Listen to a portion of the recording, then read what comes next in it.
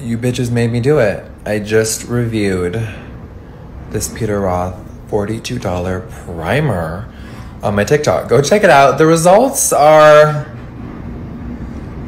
interesting. If you want to see me want to throw up in my mouth, then hit that TikTok button. Bitch, it's time for another makeup review. Let me put on my Diamond Dahmers. And baby, today we are trying out this Peter Roth fucking primer that you guys keep asking me to try. It's, I guess it's viral, so here we are. By the way, how are we liking my facial hair? I've tried to grow it out and this is all we're giving. I used to do laser hair removal all the time, but do we like masculine Jeffree? How are we feeling about Jeff? Okay, let me never do that voice again, unless that's my real voice. Okay, so today we're reviewing this. What the fuck is this? Reduces the look of fine lines and wrinkles in just one week. Bitch, I wish. Do you want to take some pictures? Okay, for $42 you get this. The box was a little deceiving. I was like, oh, it's big.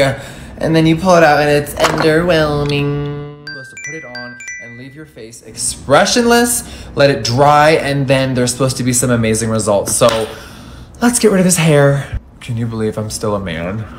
Oh my God, help. Okay, it's drying down, you guys. It says it needs three to seven minutes of me not moving or doing anything. So, oh, be right back. Okay, we're zoomed in. No filter, of course. This says to shake well before use, remain expressionless, sparingly apply a thin layer to fresh cleansed skin. So I didn't get to apply moisturizer. It says apply nothing.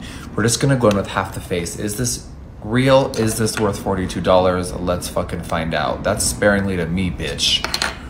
Okay. Oh, let's do half the face, or we're gonna remain expressionless. Oh my god. Is this full of shit? Let's find out. Okay, it's been eight minutes, and bitch, there's a difference. I only did this side of the face, of course.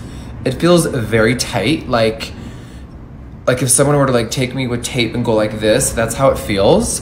Under my eyes, flawless. My pores are minimized. Like, hello. Okay, it actually did something because I was like, this shit has to be a fucking lie.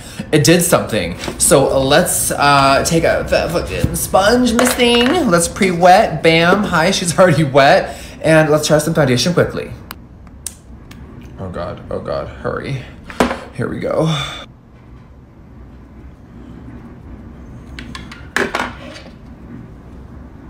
I've been wearing makeup for over 20 years. This shit is disgusting. The primer ruined it. I do not recommend this, and I actually hate myself.